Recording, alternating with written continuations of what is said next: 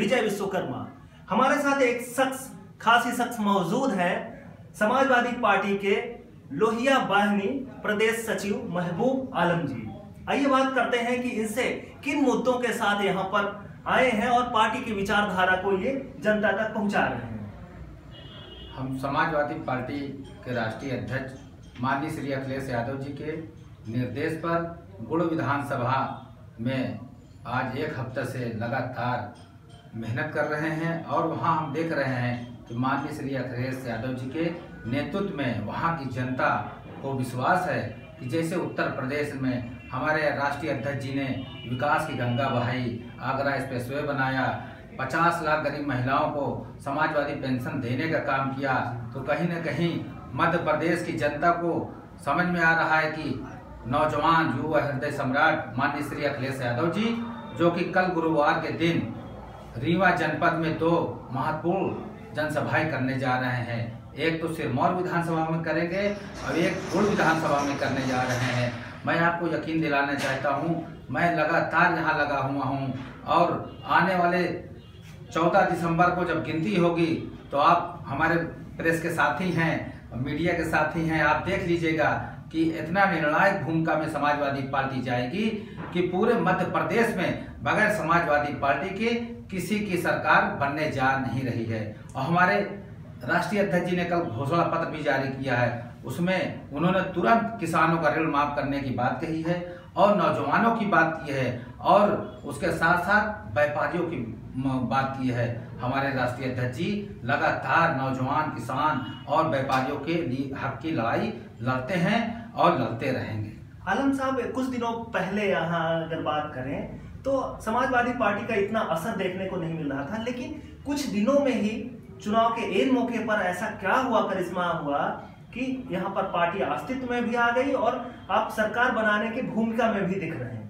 ये ऐसा हुआ कि माननीय राष्ट्रीय अध्यक्ष इतने लोकप्रिय नेता पूरे देश के देश में पॉपुलरिटी उनकी इतनी हो गई है। उन्होंने हिंदुस्तान का सबसे बड़ा आगरा एक्सप्रेसवे बनाया, जिसकी तारीफ़ पूरे दुनिया में हो रही है। उन्होंने स्टेडियम जो बनाया, जिसका उद्घाटन अभी हमारे भाजपा वाले ने बनाया, हमारे राष्ट्रीय अध्यक्ष जी ने, लेकिन उसका देखिए, उसका उद्घाटन करे हैं। उसका पूरा श्रेय माननीय श्री राष्ट्रीय अध्यक्ष जी को जाता है। पूरे विश्व में उसका तीसरा नंबर है। इतना खूबसूरत स्टेडियम बनाया कहीं ना कहीं नौजवानों को, किसानों को, अपने प्रदेश को इतनी ऊंचाई में ले जाना चाह रहे हैं और यहाँ की जनता उनसे भी आस्था रखती है कि आने वाले दिनों में जैसे उत्तर प्रदेश का विकास माननीय राष्ट्रीय अध्यक्ष अखिलेश यादव जी ने किया है, आने वाले दिनों में अगर हमारी भूमिका आने वाले दिनों में यहाँ तीसरी शक्ति के रूप में बनने जा रही है और हमारी सरकार में भूमिका जो रहेगी तो माननीय राष्ट्रीय अध्यक्ष जी ने कहा है कि किसानों का ऋण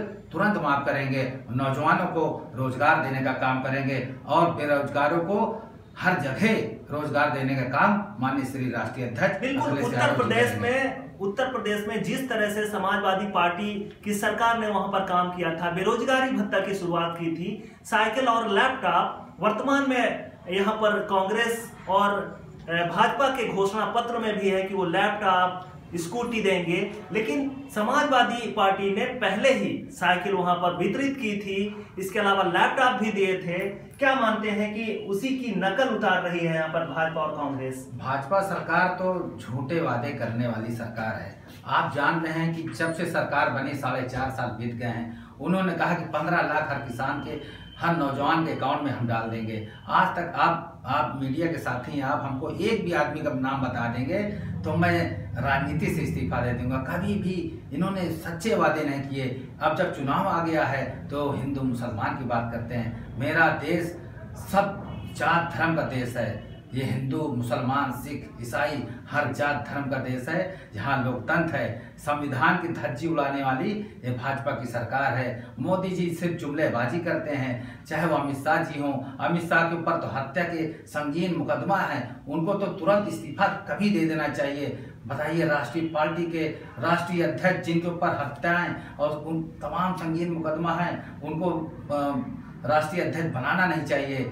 और हमारी पार्टी एकदम साफ़ सुथरी छवि के नेता और युवा हृदय सम्राट जो कि देश के नहीं पूरे दुनिया में उनको जाना जाता है माननीय राष्ट्रीय अध्यक्ष श्री अखिलेश यादव जी के नेतृत्व में। नौजवान किसान मजदूर आज जो खुश है और उपचुनाव हुए हैं हम हमारे उत्तर प्रदेश में। देख लीजिए किसी भी सीट में भाजपा जो कि योगी जी मुख्यमंत्री हैं खुद अपनी सीट वो गवा बैठे हैं। 28 साल बाद वो अपनी सीट गंवाए हैं। इसी का ये एक उद्देश्य है कि आने वाला टाइम समाजवादी पार्टी का है और तीसरी शक्ति के रूप में मध्य प्रदेश में आने जा रही है बगैर हमारे किसी की सरकार नहीं बनेगी। दृष्टि पत्र में अगर हम भाजपा के देखें तो उन्होंने स्कूटी देने का वादा किया है। क्या मानते हैं कि स्कूटी एक तरफ़ पेट्रोल इतना महँगा होता जा रहा है दूसरी तरफ़ स्कूटी?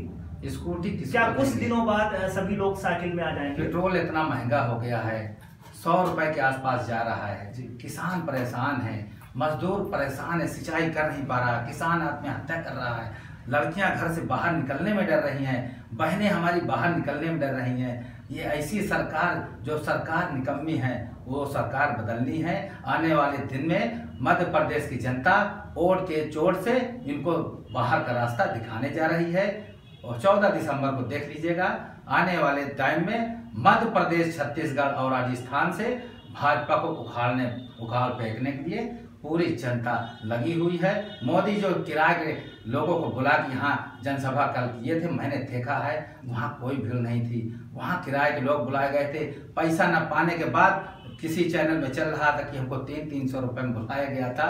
और मैं खुद गाड़ी से गुड़ से मैं जनसंपर्क करके आ रहा था। मैंने देखा कि वहाँ की जनता लड़ाई कर रही थी कि मुझको तीन तीन सौ रुपये में बुलाया गया था मुझे- मेरा पैसा नहीं मिला। और डिबेट कर रहे थे कि मुझको तीन सौ रुपये बताइए उनको पब्लिक नहीं मिल रही है। अब मैं माननीय राष्ट्रीय अध्यक्ष जी कल सिरमौर सिरमौर में भी आ रहे हैं। और गुड़ विधानसभा में उनकी रैली है आप देख लीजिएगा। गरीब मजदूर किसान पूरी शक्ति के साथ माननीय राष्ट्रीय अध्यक्ष जी के भाषण को सुनने जा रही है। और वोट करके हमारे रीवा जनपद के मैं ज़्यादा जा, नहीं कह रहा हूँ कम से कम दो से तीन सीट हम यहाँ रीवा जनपद में जीतने जा रहे हैं। बिल्कुल जिस तरह से समाजवादी पार्टी का गुड़ और सिरमौर विधानसभा में रुझान देखने को मिल रहा है ये अब पार्टी भी मानने के लिए यहाँ पर तैयार हो गई है कि उनकी दो से तीन सीटें यहाँ पर निकल रही हैं। आखिर क्या मानते हैं कि गुड़ में जिस तरह से प्रदर्शन हो रहा है और फिर अब आपके राष्ट्रीय अध्यक्ष वहाँ पर आएँगे और उनको सुनकर लोग साइकिल में वोट देने के लिए मजबूर हो जाएँगे। बिल्कुल सही बात है।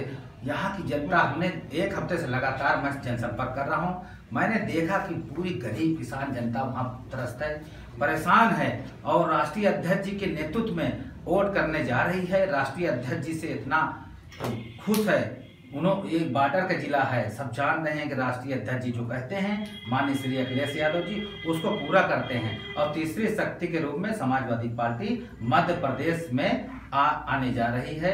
और बगैर हमारे किसी की सरकार नहीं बनेगी हमारी सरकार बनेगी तो किसानों का ऋण भी माफ़ होगा नौजवानों को रोज़गार भी मिलेगा और किसानों को सिंचाई भी मिलेगी। ये हमारी राष्ट्रीय अध्यक्ष जी ने घोषणा पत्र में वादा किया है। बिल्कुल उत्तर प्रदेश की सीमा से लगी हुई मध्य प्रदेश की रीवा और खास तौर से रीवा सतना में समाजवादी पार्टी का खास असर देखने को मिलेगा। हमारे साथ महबूब आलम साहब जुड़े रहे, आपका बहुत बहुत धन्यवाद। हम आगे भी वार्ता बढ़ाते रहेंगे, तब तक के लिए हमें दीजिए इजाज़त। नमस्कार।